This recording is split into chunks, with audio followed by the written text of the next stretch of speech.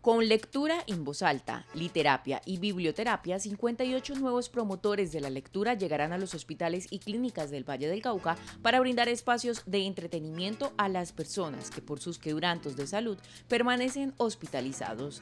Este nuevo grupo se une a esta labor de bondad y amor tras ser certificado por el gobierno departamental. Aprender a llegar a llevar la lectura a los niños, a las personas que necesitan de ese apoyo en, en la lectura en las salas hospitalarias. Fue una experiencia enriquecedora para todos nosotros, aprendimos mucho. Pacientes que reciben tratamientos farmacológicos, adultos mayores, niños y jóvenes hacen parte de los beneficiarios del programa.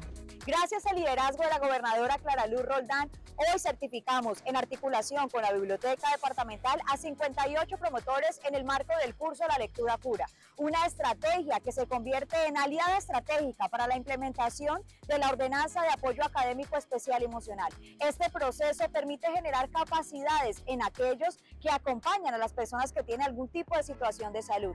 Para que más personas de buen corazón se unan a esta admirable labor a partir del mes de septiembre en la página web